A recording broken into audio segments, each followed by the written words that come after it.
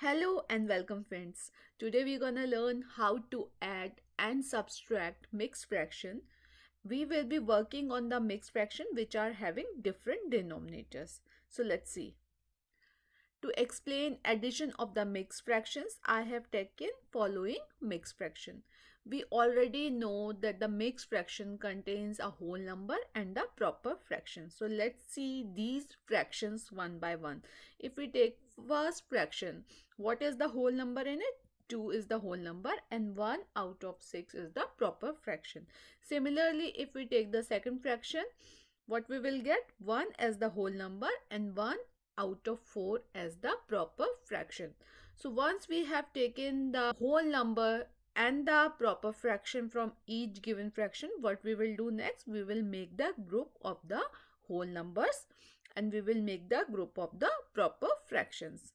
So we will get 2 plus 1 and we will get 1 out of 6 plus 1 out of 4 so it's really easy to add the whole numbers. What we will do if we do 2 plus 1 we will get 3 now it's time to add the proper fraction but as I have mentioned already that today we are working on the fractions which are having the different denominator. So in this case what we have to do first we have to make the denominator same. So how we make the denominator same?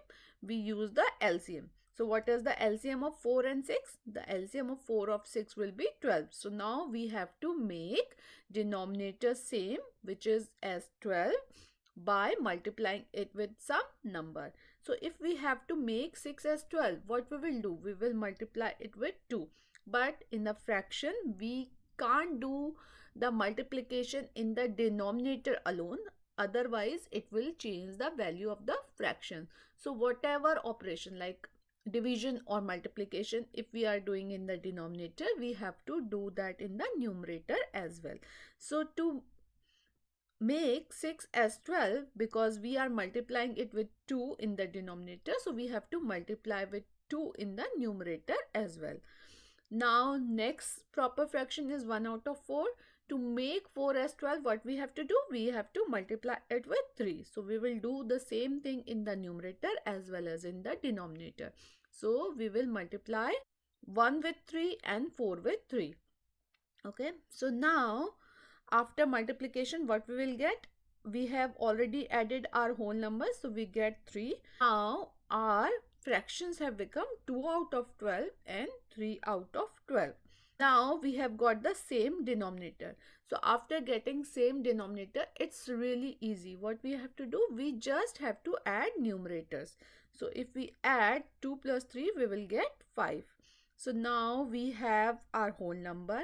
We have our added proper fraction and we can't simplify this proper fraction because there is no common factor in the numerator and denominator. So it's time to combine our result what we will do if we combine 3 and 5 out of 12 we will get this as a result. So friend it's all really easy to add mixed fractions right? Even though they are having the different denominator. So let's see another example. So this time we are working on three mixed fraction so this time again we know the rule that we will make the group of the whole numbers and we will make the group of the proper fraction. But before doing that let's see what are the whole number and the proper fraction for each given fraction. So for 3 out of 10 what we will get? Whole number is 0 because see there is no whole number against it. So we will get 0 plus 3 out of 10 next is we will get 5 plus 1 out of 6 for last mixed fraction what we will get 2 is the whole number and 3 out of 5 is the proper fraction. So we will write 2 plus 3 out of 5. So now we have separate out the whole number and the proper fraction part from each fraction. It's time to group our whole numbers and group our proper fractions.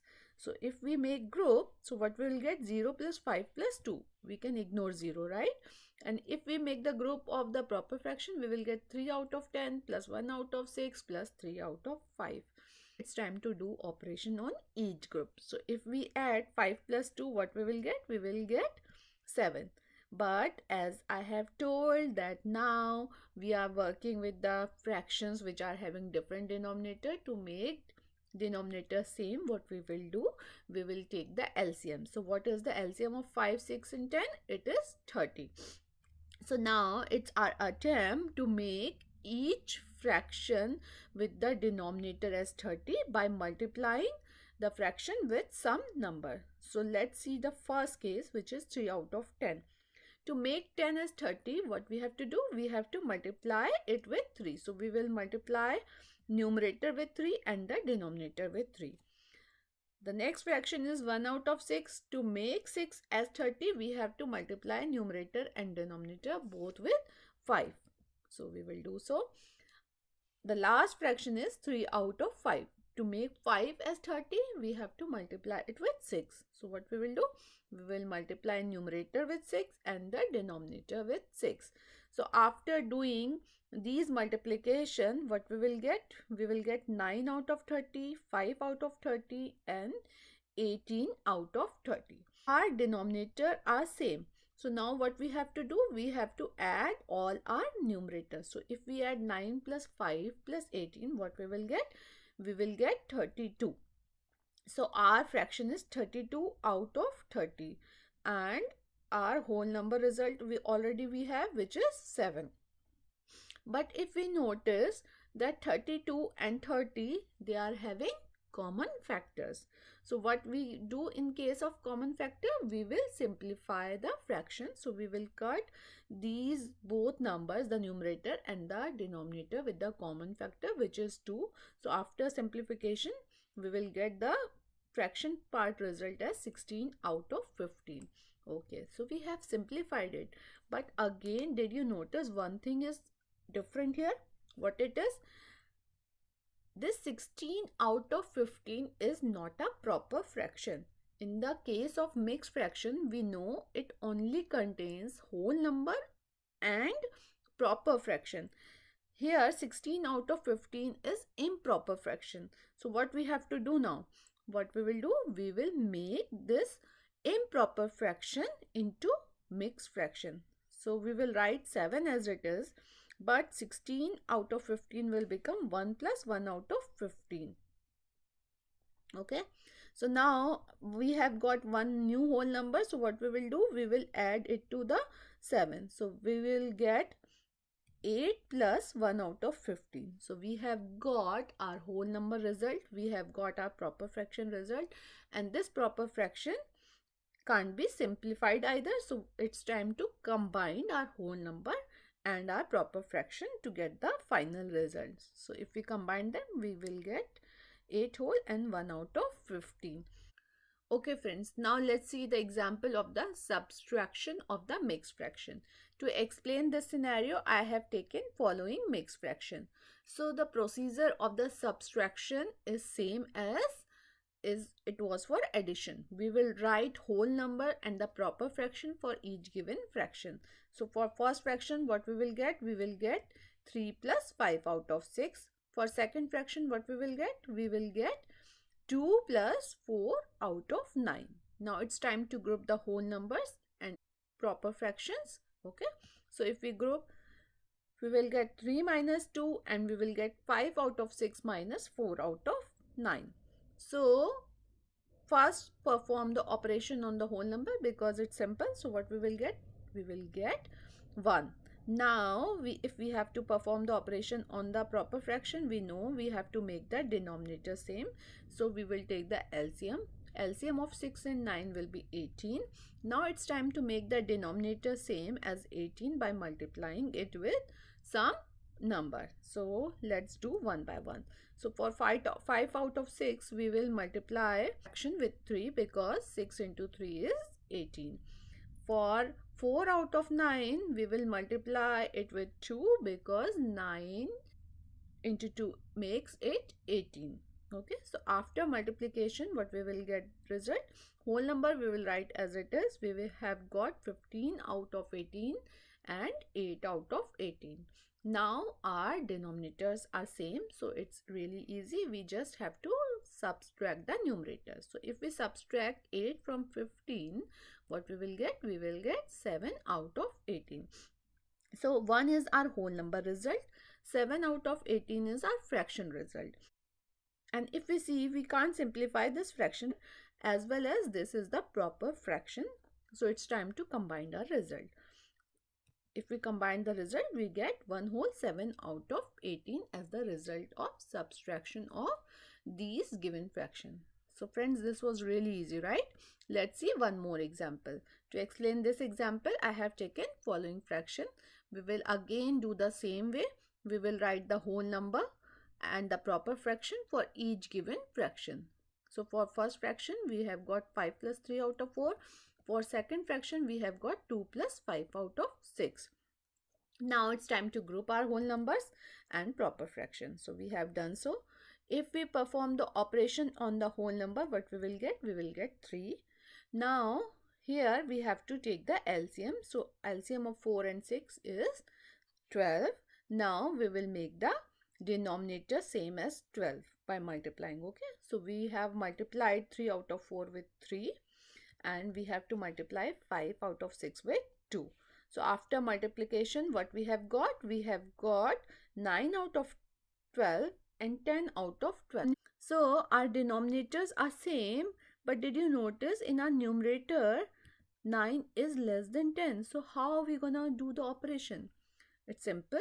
We know that while doing addition or subtraction on the numbers if we get in this kind of situation there is a provision of carrying or borrowing numbers right? So in this case we will borrow the number from the whole number. So we will take borrow from 3 so if we borrow 1 from 3 2 will remain here okay?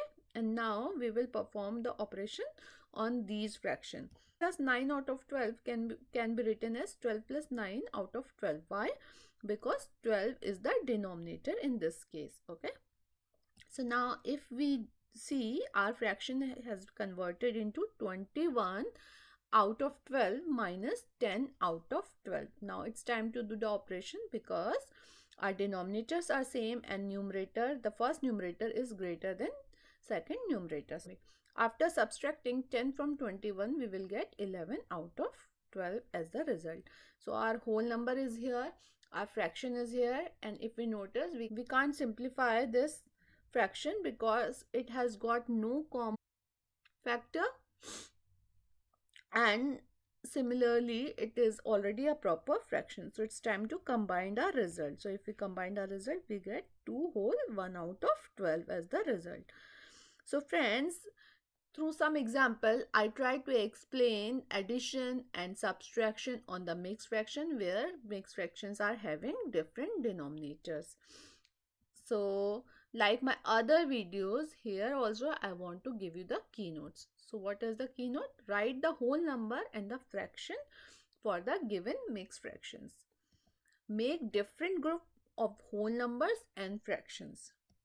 Perform operation addition or subtraction on whole numbers and fractions separately. But before that we have to make denominator same in fractions. If required, carry to or borrow from whole number. We have seen the example of these. If possible, simplify the fraction result combine the whole number and the fraction result to get the final result. So now it's time for questions of the day. So for today, I have following question. You have to add following fractions and you have to subtract the following fraction. And please write the answer in the comment section. I will be waiting for your reply. And if you find this video at all helpful, please like this video and share with your friends. And please subscribe to my channel, it's free. And thank you so much for watching this video.